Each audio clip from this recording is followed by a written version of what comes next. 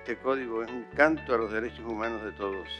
Y este código nos pone a la altura de lo que significa para nuestro país un modo de ser que es la dignidad, un modo de pertenecer que es la responsabilidad y es un modo de, de alguna manera de relacionarnos que es el amor, la solidaridad y el respeto. Y superar prejuicios, individualidades y sobre todo defender la felicidad colectiva.